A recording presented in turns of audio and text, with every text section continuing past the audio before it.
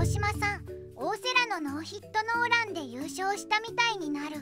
広島の大瀬良大地が7日マツダスタジアムで行われたロッテ戦でノーヒットノーランを達成し史上90人で102度目の偉業を成し遂げた。2009年に開業した本拠地マツダスタジアムでは初の快挙となった。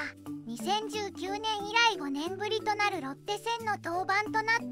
大瀬良は初回三者凡退で流れに乗ると2回西と8回1死で中村6回1死から池田9回西から角中と高部に連続四球を与えながらも最後はポランコを打ち取った。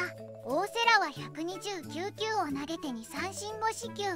粘りの投球で歓喜の瞬間を迎えると球場が優勝したかのように騒然となった。来た。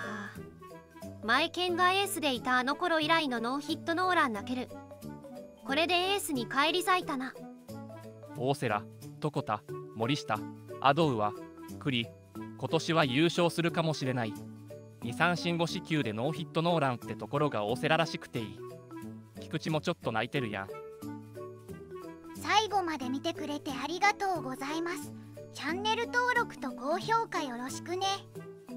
コメント待ってます